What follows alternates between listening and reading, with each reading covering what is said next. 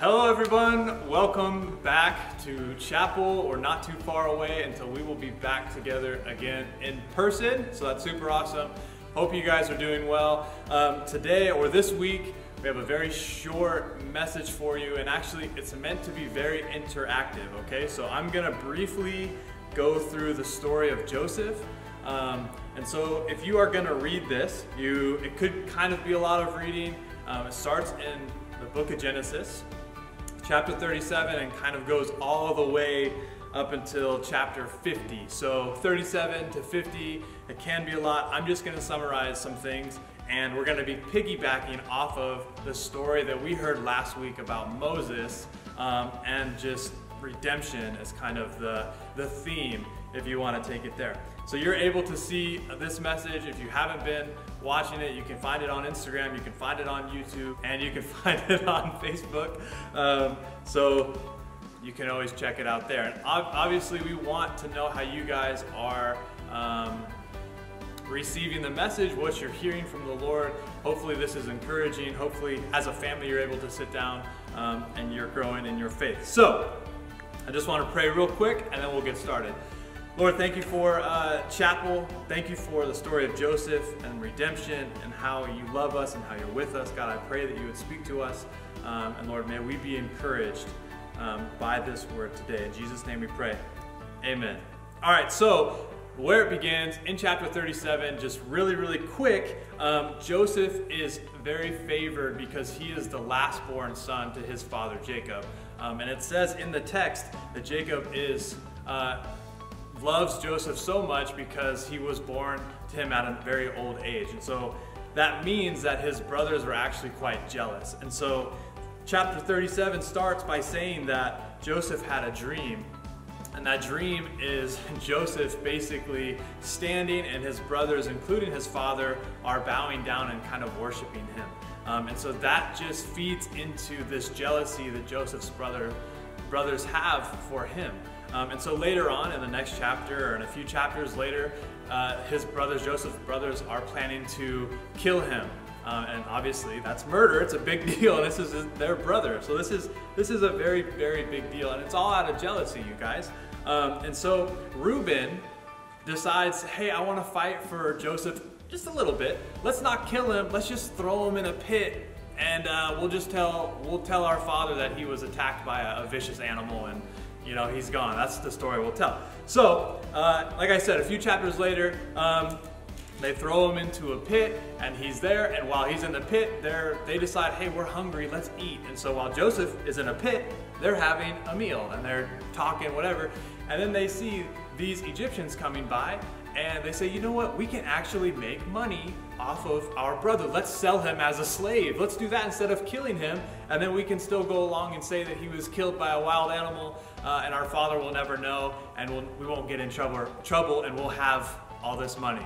Uh, and so that's exactly what they do. They end up selling Joseph as a slave, and Joseph is on his way to Egypt. And so you think, what is going on? This is crazy. It's all, all starting from jealousy. Um, and here's the, the, the, kind of the part where redemption comes in.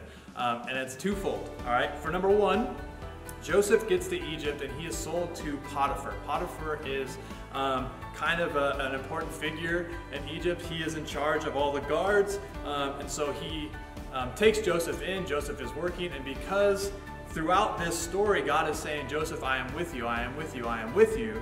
Um, Potiphar's house gets blessed because of Joseph being there, and Joseph gets blessed as well and is put in charge of many things in Potiphar's household.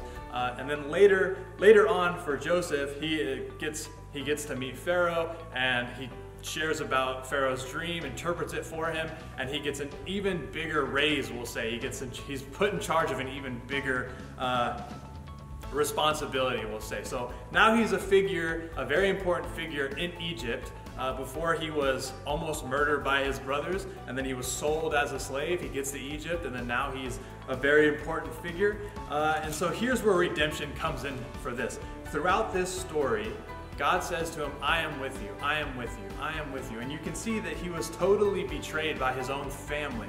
Um, and for some of us, maybe that's happened maybe with our family or maybe it's happened with friends. um, but God blesses him through that betrayal.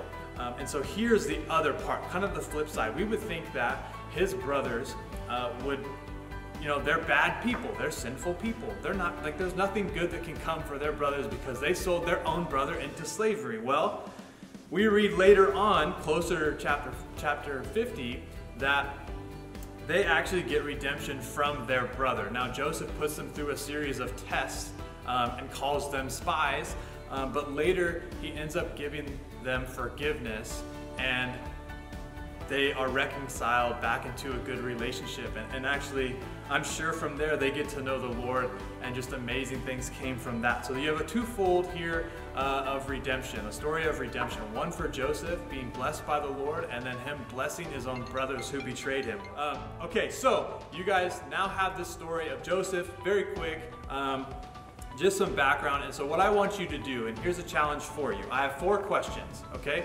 And we've done this with our upper school before. It's called a Discovery Bible Study. Um, so you can do this on your own time as a personal study, or if you're with your family and you would like your parents to, to be involved or for them to lead it, here are the four questions, okay? Number one, and anybody can ask these questions, okay? So number one, what do you like most about the story of Joseph? That's number one. Number two, what challenges you most about the story of Joseph? Is it uh, him forgiving his brothers? Is it Joseph still believing that God is with him even though all these bad things are happening to him? Um, that's question number two. Number three, what do we or what do you learn about people? What, what do you learn about us through the story of Joseph? And number four, what do you learn about God through the story of Joseph? And like I said, um, anyone can ask these questions to the group, or like I said, if you're studying it yourself, you can ask it to yourself, you can journal it, you can just you know, say it to yourself, what have you.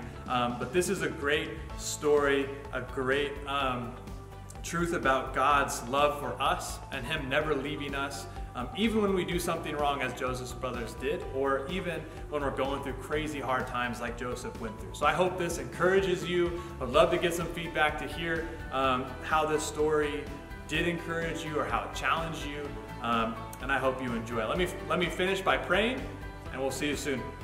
Lord, thank you for the story of Joseph once again. And God, we just pray that uh, through his story of redemption and his brother's story of redemption, Lord, that we would also believe that there's redemption for us, that we are not too far gone. Um, and there is forgiveness for us. Lord, I pray that we would believe that you are always with us, regardless of our circumstances. Um, and Lord, we love you. We pray that you continue to, to be here with us. In Jesus' name we pray. Amen.